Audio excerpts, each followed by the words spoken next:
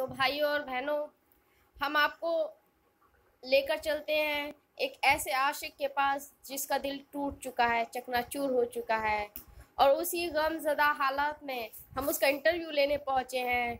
और इन गमजदा आशिक का नाम है मिस्टर आ, क्या नाम है mister sir? Ashiq mister Ashiq आपका नाम क्या है? चुन्नू अलवेला। चुन्नू अलवेला जी। चुन्नू अलवेला जी क्या हुआ है आपके साथ? कुछ बयां करेंगे अपनी हकीकत? क्या समझेंगे मेरा गम ये जमाने वाले? क्या समझेंगे मेरा गम ये जमाने वाले? हमने सही है चोट हम ही जानते क्या बात है क्या बात है। इतना गम कहाँ से आया? आखिर किसने आपका दिल तोड़ा है? गम क्या है ये भी तो सुनो। क्या गम है? यही तो हम पूछ रहे हैं किसने दिल तोड़ा है कि काली घटा सी जुल्फ थी। काली घटा सी चचा तुम भी सुन लो इंटरव्यू चल रहा है। कि काली घटा सी जुल्फ थी फ़ोटो पे भी लाली अरे आशिक महोदय एक मिनट जरा चचा को भी दिखा दें जरा। चचा जी आना चाहिए। चचा जरा देख लीजिए चचा महोदय। चचा लग रहा है चचा बहरे हो गए हैं। हाँ आशिक महोदय आगे काली घटाओं पे आ जाइए। काली घटा सी जुल्फ थी फ़ोटो पे भी लाली थी हमने जिसको चाहा वो किसी और की घर वाली। हे प्रभु ये तो सत्यानाश हो गया। आप किसी और के घरवाली को चाह रहे हैं ये तो गलत बात है। सात बार बेवफाई हुई मेरे साथ क्या बेवफाई हुई? एक बार तो मैंने एक लड़की को पाँच बार प्रपोज किया पाँचों बार उसने मना कर दिया। क्यों? क्योंकि उसे मेरी शक्ल अच्छी लगी। क्या कमी है आपकी शक्ल में? आपकी शक्ल तो अच्छी खासी है दो आँखें हैं नाक है मुँह है सब कुछ तो है। जो बीड़ी पीता था वो उसे बीड़ी पसंद नहीं थी। तो आप बीड़ी छोड़ देते हैं? मैं जो फटा हुआ लोअर पहनता था उसे फटा हुआ लोअर पसंद तो आप छो- फेंक देते फटा हुआ लोअर सिल लेते सुई धागे से? मैं सर में जो चमेली का तेल लाता था वो तेल तक उसे पसंद नहीं मैं आपको क्या बताऊँ? मैंने क्या क्या दर्द सहा। इस दिल से मेरे दिल से आवाज़ एक ही आवाज़ निकलती है। क्या आवाज़ निकलती है शायर महोदय? वो भी बता दीजिए। आशिक महोदय।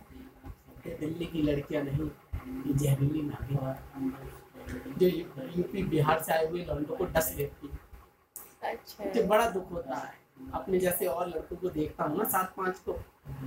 जो दारू पी के बियर पी के इधर उधर नाले के पास पड़े रहते हैं लूटते हैं। मुझे बहुत बुरा तकलीफ़ होती है। इतनी तकलीफ़ होती है तो आप उन्हें अपनी टोली में शामिल कर लीजिए। वो भी आपकी तरह पानी पी पी के दारू के नशे में डूब जाएँगे। किसी और को साथ लेकर हम क्या चलेंगे?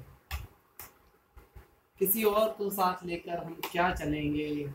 हमारा अकेले का अलग कारवां क्या बात है क्या बात है। मिस्टर आशिक ये शायराना अंदाज आपका बचपन से ही रहा है या फिर ये आपका दिल टूटने के बाद ऐसा हुआ है? आपने रॉकस्टार मूवी देखी? रॉक स्टार मूवी तो हमने देखी है। इट्स अ फैंटास्टिक मूवी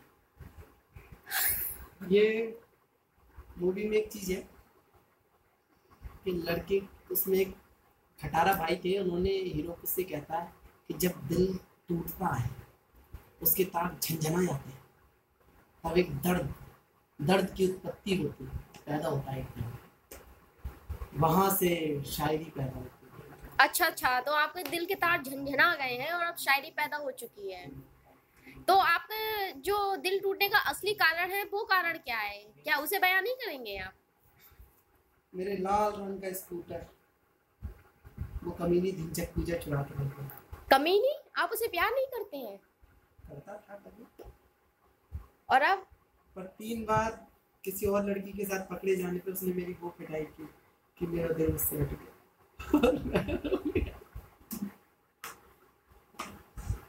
पर मैं मैं आपको सच बताता हूँ। ये सच्ची घटना है। उसने मेरा लाल रंग का स्कूटर चुराया उसके सफ़ेद पेंट करके उस पे गाना बना लिया। दिलों का शूटर हाय मेरा स्कूटर दिलों का शूटर हाय मेरा स्कूटर गाना चल भी गया। सही अच्छी बात एक गाना और है उसका कोई? तो उसने मेरा मोबाइल चुरा के गाना बनाया था उससे सेल्फी खींच के उसने गाया कि सेल्फी मैंने ले ली आज सेल्फी मैंने ले लिया। अच्छा है। हमें दुख ये नहीं है कि वो गाना गाती है।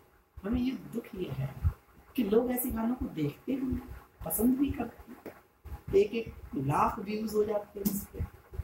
हमें तो व्यूज़ को हिंदी में पता भी नहीं क्या बोलते तो आप डिक्शनरी नहीं है आपके पास? डिक्शनरी में देख लेते हम तो इस वीरान सड़क पे पड़े रहते हैं। अपने आप से कुछ बातें करते रहते हैं। मैं और मेरी तन्हाई अक्सर ये बातें करती हैं। कि मेरी पाँच गर्लफ्रेंड होती तो कैसा होता सात होती तो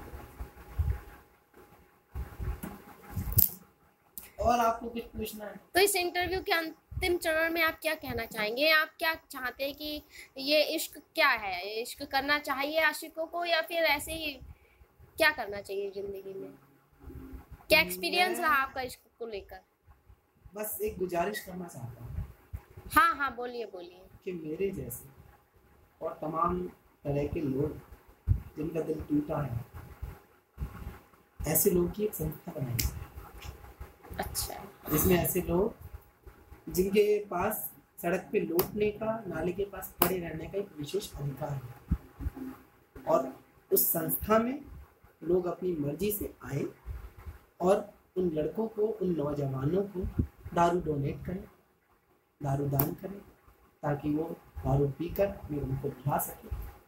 और मेरे जैसी मेरे जैसी तो मैं नहीं कहूँगा, उसके आसपास की, या उससे थोड़ी नीचे कम कर ऐसी शायरी कुछ लिख पाए जैसे कि एक इतिहास बन पाए शायरी ठीक है आशिक महोदय बहुत बहुत धन्यवाद।